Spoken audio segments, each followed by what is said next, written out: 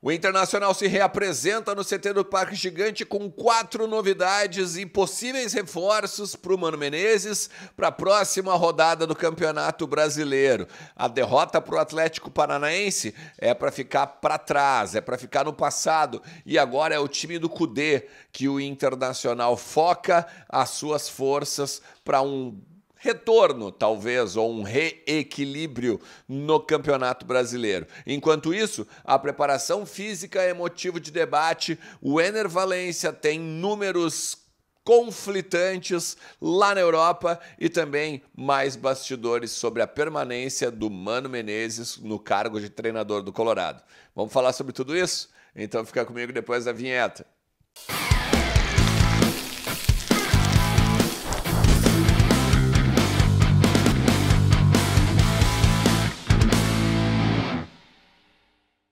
Fala Colorado, fala Colorado, como é que vocês estão? Tudo beleza? Ainda não, né? Ainda não, não dá para dizer que 100% beleza, né? Todo mundo bem. Óbvio que tá todo mundo ainda lambendo suas feridas, né? Principalmente dessa derrota aí de 2 a 0 para o Atlético Paranaense. Ninguém imaginava que seria dessa maneira, né? Principalmente porque o Inter em casa tinha ou deveria ter confirmado, né?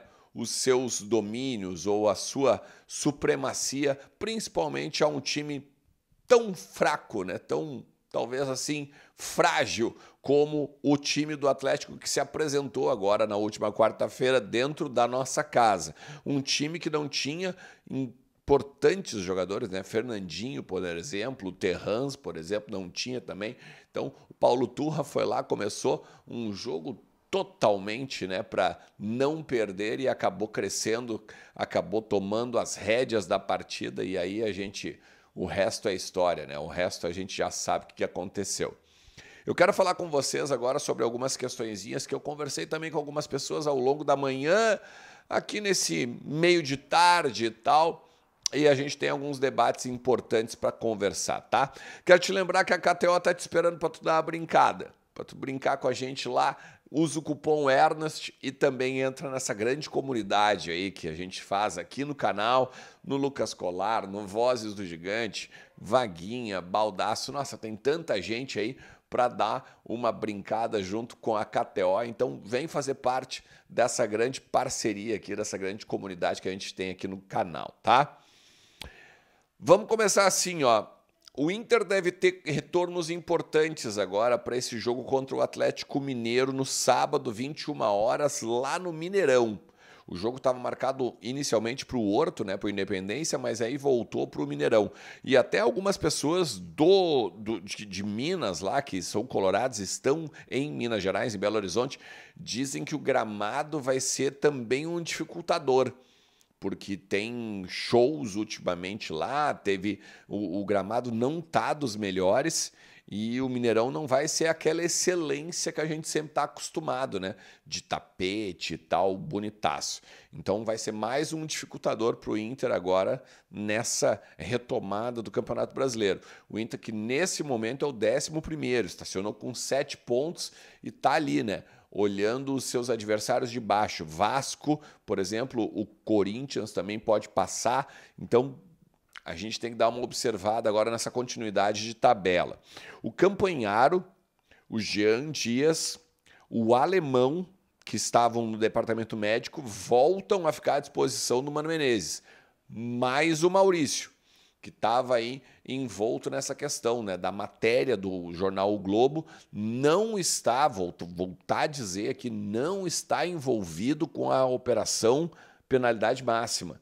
O Maurício ele foi aliciado, mas não aceitou cartões ou faltas ou vermelhos ou isso e aquilo, tá? Então, esqueçam o nome do Maurício dessa parada aí total aí, falcatrua que está acontecendo dentro do futebol brasileiro. Até o momento, nenhum jogador do Inter está envolvido nessa operação penalidade máxima, tá? Então são esses quatro jogadores que devem estar à disposição do Mano Menezes para então dar um up agora contra o time do Cudê, né? Do Eduardo Cudê. A possibilidade, inclusive, do Campanhar ser titular é muito real, Maurício mais ainda, porque a gente já tinha falado sobre isso na parte da manhã, né? O Maurício seria o titular pelo lado direito com o Pedro Henrique centralizado e não o Luiz Adriano. Então daqui a pouco a gente pode pensar que o Mano, pelo fato de ter pouco tempo para treinar, venha a treinar com essa galera que ele treinou agora para o Atlético Paranaense, né?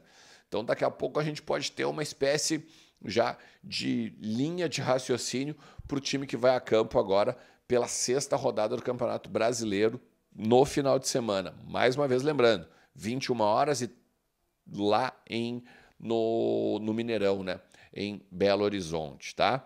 Uma possibilidade que eles viajem, né? Todos os jogadores. É bom lembrar que o Inter viaja amanhã na sexta-feira à tarde, tá? Tá rolando um papo muito sério sobre a preparação física do Inter há muito tempo, né? O Inter joga e os 35 ali, dos 40 do, do primeiro tempo, basicamente baixa as linhas e começa meio que a dar chance para o adversário, o adversário toma os rumos da partida e a gente vê que o Inter esmorece, né? E aí, a partir disso, principalmente pelo fato do Flávio de Oliveira ter sido demitido do Corinthians, tá surgindo o nome dele novamente aqui nos corredores do Beira Rio. Tem o seguinte, tem várias versões, tá? A primeira versão é que o Flávio agora iria descansar, não iria pegar nenhum clube do Brasil. Sairia do Corinthians, pegaria sua rescisão, enfim, e ia curtir a família em São Paulo, dar um break nesse, nesse período aí em que ele já participou, né, da parte do Inter, e aí saiu do Inter, foi lá pro Itaquerão, né, para coordenar a preparação física do Corinthians, teve muita crítica lá, óbvio, tá? e aí acabou demitido depois que o Vanderlei Luxemburgo assumiu lá, enfim, com os seus preparadores, tá?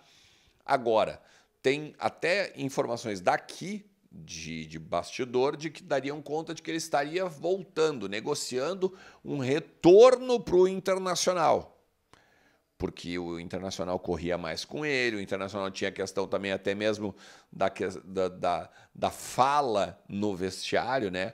E das palavras de incentivo, era um cara motivador, isso e aquilo, trabalhava quase como um coach também dentro do vestiário. Então, também se fala um pouco no bastidor que ele poderia estar voltando.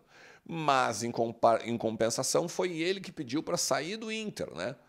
Então fica meio antagônico o Inter querer aceitar ele de volta quando na primeira oportunidade ele pegou e foi embora pedindo para sair. Então fica aquela coisa assim que é uma história aqui e uma história ali. O que tem de concreto nesse momento é o pessoal da revista Colorado corroborando essa informação que eu trouxe para vocês agora há pouco, tá? Que ele quer ficar com a família, ele vai aproveitar um período entre aspas sabático, né? Ou um período sem trabalhar, principalmente porque, obviamente, a rescisão dele com o Corinthians é muito boa, né? Até esse é o ponto.